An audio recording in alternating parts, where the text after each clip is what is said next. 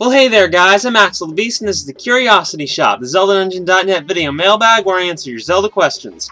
Our first question comes from Skullkid. In future Zelda games, would you want the overworld of Hyrule Field to be like the overworld in Xenoblade, Chron Xenoblade Chronicles, extremely large and open with plenty to explore? Yes. Uh, Ricky asks, what is the Master Sword made of? Juicy J asks, which boss in Zelda would you say is the best, and which one would you say is the worst? Best, like, you know, for me, it would actually be the Ghirahim fights in Skyward Sword. Love the battles in Skyward Sword in general, but uh, is my favorite, so he's my favorite series. Worst, on the other hand, would be Armogohma. Yeah, that's just a really obnoxious fight. But be sure to tell me uh, your guys in the comments, though. Uh, Hero of Time 253 asks, What do you think is the most annoying thing in the Zelda series?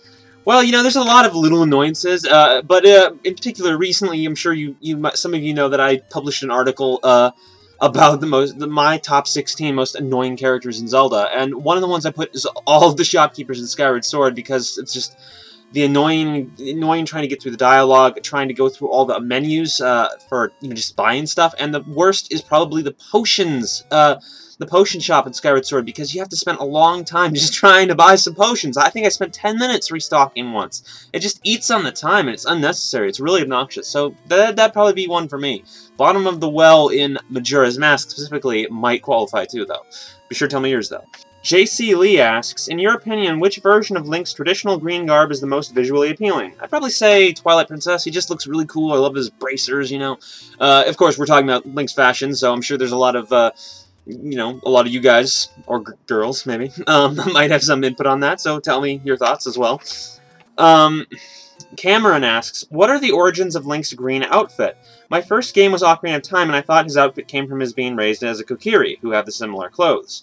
But he wears the same clothes in all the games that precede Ocarina of Time on the timeline. Is there any canonical explanation for for his clothes? Not really. Uh, you could think that Ocarina of Time is kind of like the uh, the retconned uh, example of the explanation, because a lot of the other games follow Skyward Sword's example, or at least could, because in Skyward Sword it's the knight outfit, in uh, in uh, uh, the Wind Waker, it's based on the Ocarina, on the Hero of Time's outfit, and in Spirit Tracks, it's based on well, it's the it's the guard uniform, so it could be based on the same outfit because Link helped found New Hyrule, uh, and it's similar in Twilight Princess. It's the hero's clothes, but.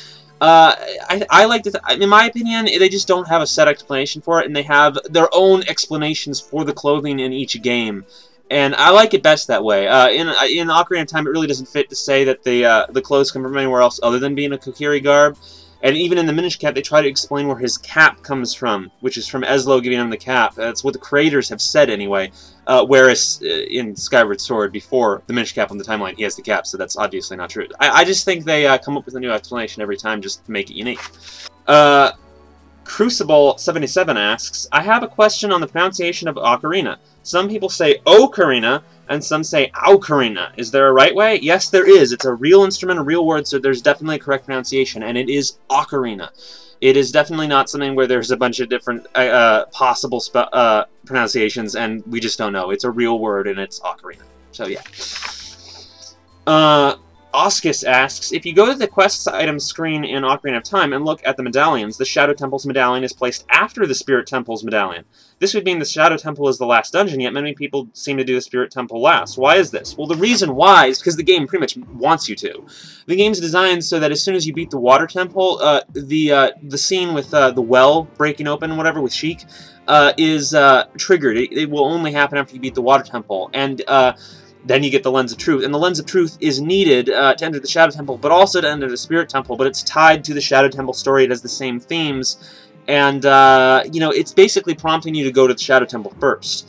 Uh, I like to think that the order on the menu is probably just they intended the opposite order. They intended the scary area to go last, but ultimately decided that the Ganon's origin area should go last. And I think it was a good call, but it's interesting because I do think that that definitely mean uh, is a sign of their original intention.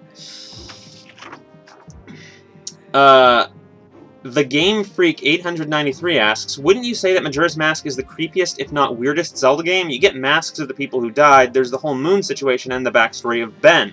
What do you think about this? Well, Ben is not part of the story. That's a fan thing completely made up. It's not part of the game. Uh, as for the other stuff, I guess it is one of the creepier games. I've maintained and still maintain that it's not really dark, but I guess it can be not that dark and still be creepy. The death themes in the game, I've always felt actually were more on like a spiritual side. It wasn't like, oh god, there's people dying, it's worshipping death. It's like all about death, death, death it is about death, but I always felt it was more about like the spiritual take on it. The people who died are okay. There's that's not like I don't think there's anything creepy about that. I think it's an interesting take on the situation. And that's my take on Majora's Mask. It's definitely the weirder game though, uh, with potentially Link's Awakening as its only competition. It's one of the strangest games of the series. I agree with you there. Um. David Dirt asks, I never made use of the Curiosity Shop in Majora's Mask. Did you?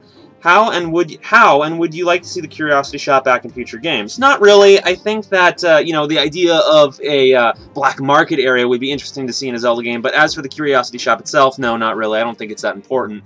And no, I've never made extensive use of the Curiosity Shop. The only real reason to use it is for the story and for the All Night Mask, which is ironic given the name of this mailbag. But being honest, it's actually that's one of the reasons I had to answer this question. Um, Link 5967 asks, "Do you think that Majora's Mask could have a sequel? Because at the end, the Link rides off with rides off on Epona. Also, it would make sense to have a sequel, right? Because Ocarina of Time and Majora's Mask were the two best games in the series. What do you think?" I think that that story's done, essentially. I mean, yeah, it's kind of open-ended, he rides off, but that's how a lot of stories end, and I think it's best that way. I think that the Hero of Time tale was is done, more or less. I think that the only reason people like talk about continuing is just because it was very popular. But I don't think it really needs to continue, and it would have no real benefit to the story for it to continue. So I think it should just be left alone. Maybe similar stories could be explored, but I don't think the same one needs to be touched. Uh, Link's Journey asks, Did you feel Oracle of Seasons was ripping off Legend of Zelda on the NES when it came to dungeons and bosses? Nah, I wouldn't call it that. I mean, yeah, it was obviously copying them, uh, but I, I, I, consider that just a homage. I mean, maybe the game's a little less original, but uh, it, I don't. I wouldn't call that a ripoff. Ripoffs uh, imply a negative, have a negative connotation. It's like you're stealing from something. It's their own game, and uh, it's it's more like an interesting homage. It makes it less uh, new, but it's still fun. I think it was cool to see a game uh, base itself off the original Legend of Zelda a lot. I thought that was interesting. Uh, Kasim asks, in the Wind Waker's second quest, Link can't see the hero's new clothes, but Ganon can. Does that make Ganon honest? Because Link's grandma says only honest people can see it. Actually, I don't remember Ganon saying that, but I'll take your word for it. Uh, that's hilarious. That's enough said. Um, Zelda Nerds 1703 asks, In Twilight Princess, the desert area was called Gerudo Desert, but there aren't any Gerudos there. Why was this? No real reason other that I can think of, other than that they just decided they weren't going to have the Gerudos in the game. It's just, not every race is going to appear in every game. I'm kind of glad about it, because I think that it was already, Twilight Princess was already very similar to Ocarina of Time, so it didn't need them. Uh, some people like to theorize that the Death Sword had something to do with their extinction, but this complete fan theory speculation has nothing to do with anything in the game. But it's, it's an interesting idea if you like it. So, yeah, that's all there is to it. They just weren't put in the game, and they just named it after them. Uh, Spearson, uh, 270 asks, In the Forest Temple in Twilight Princess, on the doors you see the same symbol on the Deku Shield in Ocarina of Time. It's the same case with the doors in the Forbidden Woods in the Wind Waker. What do you think this means? Well, that's a Kokiri symbol and in, in The Wind Waker, it makes a lot of sense because, well, the Koroks are the Kokiri, or new form of them, and it's the Deku Tree, and etc., etc., etc. In Twilight Princess, uh, it's the same thing with kind of like the Gerudo Desert. It's just they, they took the the, the uh, themes and reused them, but uh, the race itself didn't appear. They just decided not to use it. So, the same thing then. Uh, asks, Hyrule Historia revealed that the hero shade from Twilight Princess is in fact the hero of time from Ocarina of Time. However, since Twilight Princess takes place in the child timeline, Link never became the hero of time, nor did he get the Master Sword. How can this be explained? Well, there could be a lot of stories left untold, but ultimately, I think Nintendo does tend to kind of forget about how the timeline split works, and they seem to act like it's a linear timeline. But I think the best explanation here, aside from the Master Sword thing, I have, I have no answer to that, um, is that uh, just because uh, Nintendo calls him a Hero of Time doesn't mean he was known as that in the game world, you know? Uh, that's probably, it's like, it's just how the fans identify the Link from Ocarina of Time, you know? That, that kind of thing. Uh, William asks, if you recall in one of the Skyward Sword trailers at about 30 seconds, there was a figure that looked like Skull Kid. Since the game has been long released, do you know what it is? Do you remember seeing anything or any place in the game like it? Uh, this was actually debunked, debunked uh, pretty early.